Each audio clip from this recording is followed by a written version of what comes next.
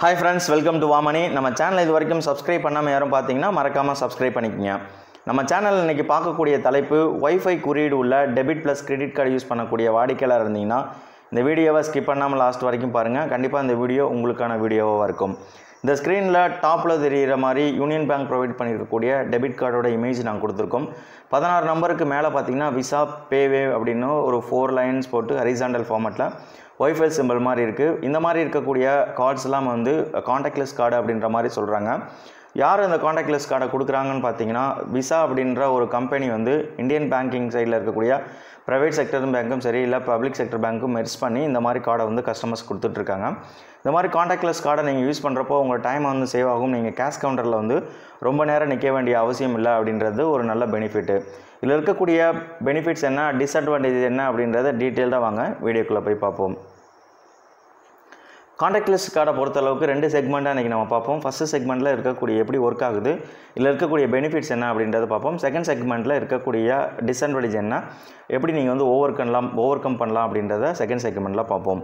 இந்த மாதிரி காண்டாக்ட்லெஸ் கார்டை பொதுவாக ரெண்டு விதமான கார்டு ப்ரொவைட் பண்ணுறாங்க ஒன்று கிரெடிட் கார்டு இன்னொன்று டெபிட் கார்டு ஸோ கிரெடிட் கார்டுன்றது பொதுவாக கடன் அட்டை மாதிரி கடன் அட்டைன்றது நீங்கள் இப்போது பொருளை வாங்குறீங்களும் சரி இப்போ டிரான்சாக்ஷன் பண்ணுறீங்களும் சரி ஒரு ஃபை ஃபார்ட்டி டேஸோ இல்லை ஃபார்ட்டி ஃபைவ் கழிச்சு அப்புறமேல் நீங்கள் பே பண்ணணும் இது வந்து ஒரு கடன் மாதிரி தான். வாங்கிட்டு ஒரு பாஞ்சு நாள் நாற்பத்தஞ்சு நாள் கழிச்சோ இல்லை பதினஞ்சு நாள் கழிச்சோ வட்டி இல்லாமல் நீங்கள் கட்ட வேண்டியதாக இருக்கும். சப்போஸ் நீங்கள் கிரெடிட் கார்டோட டியூ டேட்டு போயிடுச்சு அப்படின்னா எக்ஸ்ட்ரா பணம் போட்டு நீங்கள் பே பண்ண வேண்டியதாக இருக்கும்.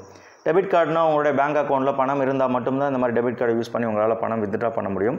இந்த மாதிரி கார்டில் ஒய்ஃபை சிம்பிள் கொண்டது தான் ஹரிசாண்டல் பொசிஷனில் இருக்கும். இந்த காண்டாக்ட் லிஸ்ட் கார்டை பொறுத்தளவுக்கு நீங்கள் டிரான்சாக்ஷன் பண்ணுறீங்க அப்படின்னா நீங்கள் பிஓஎஸ் மிஷினில் போயிட்டு ஸ்வைப் பண்ணிவிட்டு இல்லை சிப்பு சிப்பு இருக்கக்கூடிய கார்டில் வந்து இன்சர்ட் பண்ணி நீங்கள் ஃபோர் டிஜிட் பின் போட்டு டிரான்சாக்ஷன் பண்ண வேண்டியது அவசியம் கிடையாது. ஏன் அப்படின்னா இந்த காண்டாக்ட் லிஸ்ட் கார்டில் என்எஃப்சி அதாவது நியர் ஃபீல்டு கம்யூனிகேஷன்ற சிப்பை வந்து இன்டெகிரேட் பண்ணியிருக்காங்க. இந்த சிப்போட யூசேஜ் என்னென்னா இது ஷார்ட் ரேஞ்ச் டேட்டா ட்ரான்ஸ்ஃபருக்கு ரொம்பவே யூஸ்ஃபுல்லாக இருக்கும். இந்த மாதிரி டெக்னாலஜி யூஸ் பண்ணி இந்த பாயிண்ட் ஆஃப் சேல் டிவைஸில் வந்து டச் பண்ண தேவையில்லை. ஈஸியாக வந்து டிரான்சாக்ஷன் பண்ணிக்கலாம்.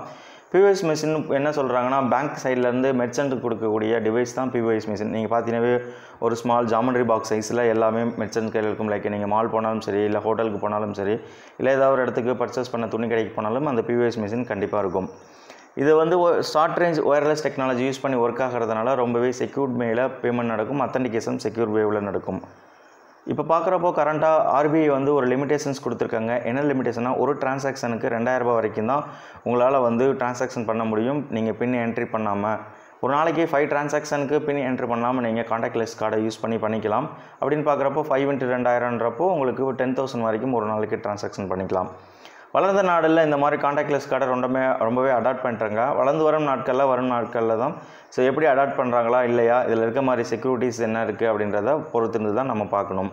சரி இது எப்படி ஒர்க் ஆகுது அப்படின்ற மாதிரி உங்களுக்குள்ள ஒரு டவுட் இருக்கும். நான் முன்னாடி சொன்ன இந்த மாதிரி காண்டாக்ட் லிஸ்ட்டில் என்எஃப்சி அப்படின்ற சிப்பை வந்து இன்டகிரேட் பண்ணியிருக்காங்க. இந்த ஷார்ட் ரேஞ்சில் டேட்டா ட்ரான்ஸ்ஃபர் பண்ணுறதுனால பிஓஎஸ் மிஷினுக்கும் இந்த மாதிரி காண்டாக்ட்லெஸ் கார்டுக்கும் இடைவெளி வந்து ஒரு ஃபோர் சென்டிமீட்டர் இருந்தாவே சரி இந்த கார்டு வந்து ஒர்க் ஆகும்.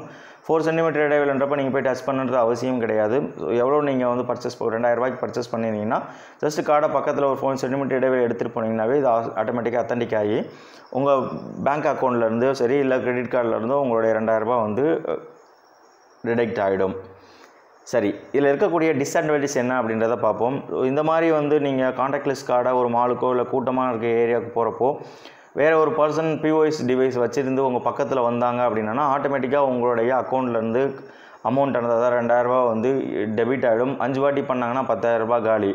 ஸோ இதை அவாய்ட் பண்ணுறதுக்கு என்ன ஒரு யூசேஜ் இருக்குது அப்படின்னா ஆர்எஃப்ஐடி அப்படின்ற பவுச் வந்து ஆன்லைன்லேயும் அவைலபிலிட்டிக்கு கடைகள்லேயும் கிடைக்கும். அந்த மாதிரி பவுச்சில் நீங்கள் இந்த மாதிரி காண்டாக்ட் லிஸ்ட் கார்டை வைக்கிறப்போ காண்டாக்ட் லிஸ்ட் கார்டுக்கும் பிவிஎஸ் கமிஷனுக்கும் நடுவில் வந்து ஒரு பேரியர் மாதிரி இந்த ஆர்எஃப்ஐடி பவுச் வந்து ஒர்க் ஆகும். ஸோ ஈஸியாக வந்து டிரான்சாக்ஷன் நடைபெறாது. உங்கள் பணமும் வந்து ரொம்பவே சேஃபாக இருக்கும். டெக்னாலஜி நாளுக்கு நாள் எந்த அளவுக்கு வளர்ந்துட்டு இருக்கோ அந்த அளவுக்கு பெனிஃபிட்ஸ் ரொம்ப அதிகமாக இருந்தாலும் ஒரு பக்கம் செக்யூரிட்டி இஷ்யூஸு லாகிங்கு திருட்டு பயம் அந்த மாதிரி இருக்க தான் தெரியுது டிஜிட்டல் வேல்யூவில் டிரான்சாக்ஷனுக்கு நமக்கு தெரியாமல் நிறையா ஸ்கேம் நடந்துக்கிட்டே இருக்குது ஸோ உங்களுடைய பணம் உங்களுடைய கார்டு நீங்கள் தான் வந்து பத்திரமா பாதுகாத்துக்கணும். அதுக்கு உண்டான நடவடிக்கை நீங்கள் தான் எடுத்துக்கணும்.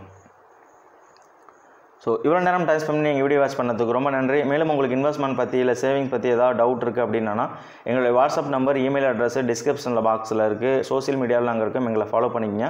உங்களுடைய டவுட்னா நீங்கள் எந்த பிளாட்ஃபார்மில் கேட்க விருப்பப்படுறீங்களோ அந்த பிளாட்ஃபார்மில் கேளுங்க. இல்லை உங்களுக்கு ஏதாவது டாபிக் டிஸ்கஸ் பண்ணணும் ஏதாவது டீட்டெயில்டாக அனலைஸ் பண்ணணும் அப்படின்னா கீழே கமெண்ட் பாக்ஸில் டைப் பண்ணுங்கள் அதற்கேற்ற மாதிரி வரும் நாட்கள்லாம் நாங்கள் டீட்டெயில்டாக உங்களுக்கு சொல்கிறோம் நன்றி வணக்கம்.